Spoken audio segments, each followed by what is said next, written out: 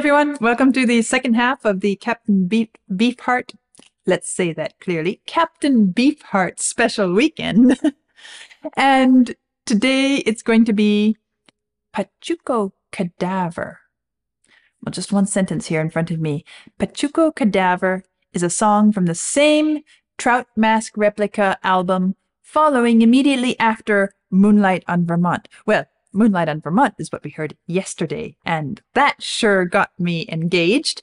Let's see how this one is. And um, I'm curious to see if it's a similar musical style, what the sound is, and what sort of goodies we discover along the way. So let's dive in. A squid eating dough in a polyethylene bag is fast and bulbous. Got me? Can't say that I've got you.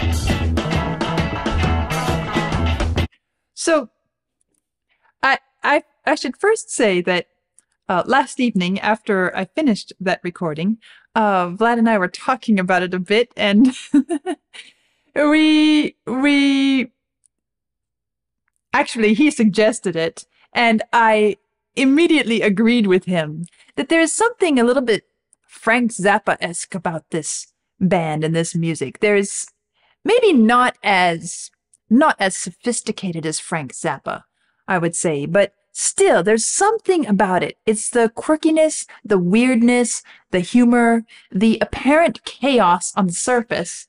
I mean, I'm listening to this introduction, and even though there's so much patterning in there and consistency, if I am not paying close attention, the first sense I have is that of chaos. Um, it's noisy. It's like somebody banging on pots, pots and pans and uh, shaking shakers and who knows, throwing tin cans. It's like a bunch of kids just making a racket. And yet, when I listen more closely and start noticing the patterns and the different layers and everything, it is far more than just a bunch of noise. You didn't hear that in the recording yesterday because it came after the fact. Actually, Vlad did grab a camera and started running because he likes to do this, and sometimes he catches these um, after the moment recordings. He calls them the minutes after recordings, and he puts them on Ko-fi and Patreon first for our supporters of a certain certain tier and upwards. And sometimes he catches some really fun stuff. This was an interesting conversation, and well, you can always check out what we have on Ko-fi and Patreon if you want. But back to this. I do have this now in my mind as I'm approaching this second Captain Beefheart piece, is that there, this thought of, it is kind of Zappa-esque in a way. And so, sure enough, here it is.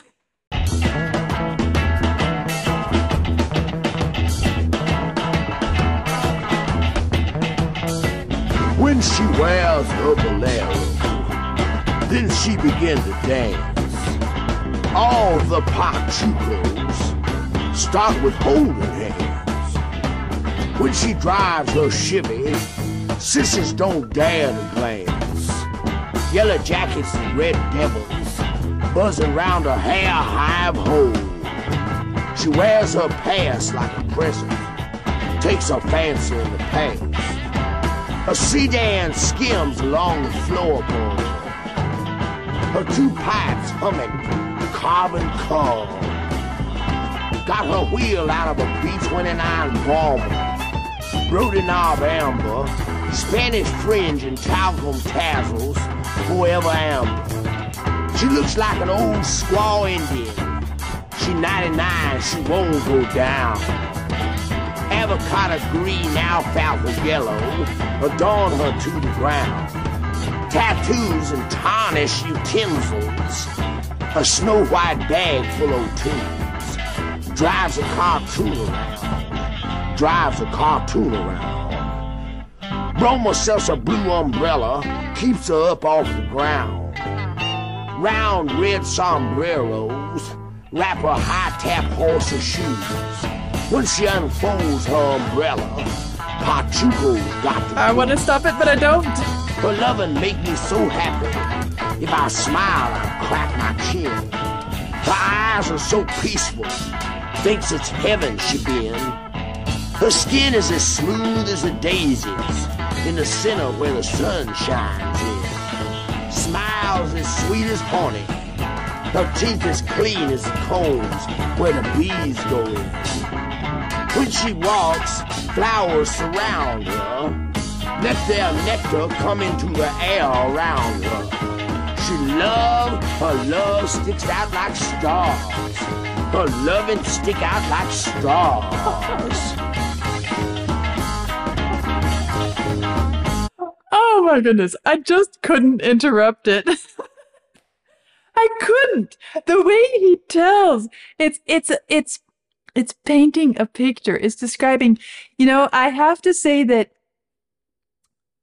I've just recently listened to um, Lucy in the Sky with Diamonds by the Beatles. And in a way, this reminds me of that one because it is painting an incredibly vivid picture. Well, this one is actually a little bit more down to earth, isn't it? Quite more down to earth, let's say. Um, and it feels like it's not just fanciful childhood's imaginary world. This one feels more like it's describing an honest to goodness person and and it's just painting such a vivid vivid picture of it all. But but somehow the two of them even though the music is so incredibly different the writing of the lyrics the way they both approach this um, way of describing and and developing the image into a full experience. I couldn't stop listening. I, I reached to stop. You saw me maybe once or twice. I was going to stop to comment, but then I thought, "Ah, I don't want to interrupt this. It's so compelling. That is the word I would use for this is his way of presenting this painting this picture is so riveting, so compelling. I don't want to interrupt it because I have this I have this feeling of, you know, um sitting around a campfire after dark. Um, you know, you're the kid on the ground and you're listening to all the grown-ups tell terrifying ghost stories and you want to stop it but but you don't dare stop it. You're sitting there with your jaw hanging open and your mind is running a million miles an hour and and and you're just you can't not listen. For me i can't not listen to this painting this this image that is coming to life in front of me it's it's almost more than a painting. And the music behind it um, contributes to that whole sensory experience because it it gives it a certain feel and it matches so well what he's painting here. I feel that it is in a certain place, in a certain part of the world, and and certain types of people, and and um, in a in a certain context. The music sets the context for me, and um, it's a little bit rough, rustic. Uh, certainly southwestern United States, perhaps even Mexico. And and it's it's dusty and yet everything is so so strongly experienced that it doesn't come off as feeling like a dusty piece of music or something. Instead, it's it's vibrant and intense in the whole experience of it and and imagining of it. Okay, so let's let's let's finish. Love and stick out like stars. Gotta love the way he says that.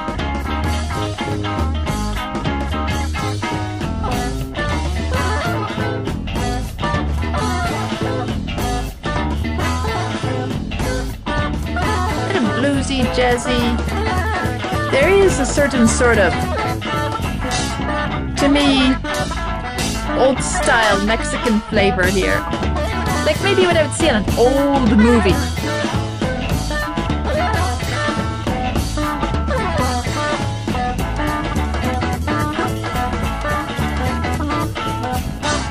I can see everybody wearing sombreros and cowboy hats.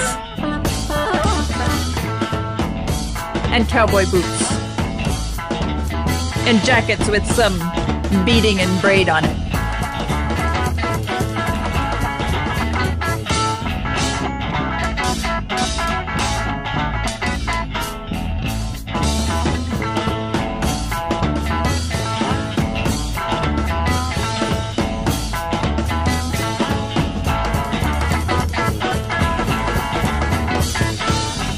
The actually actually contribute a lot to the whole overall feeling, don't they? They give it personality.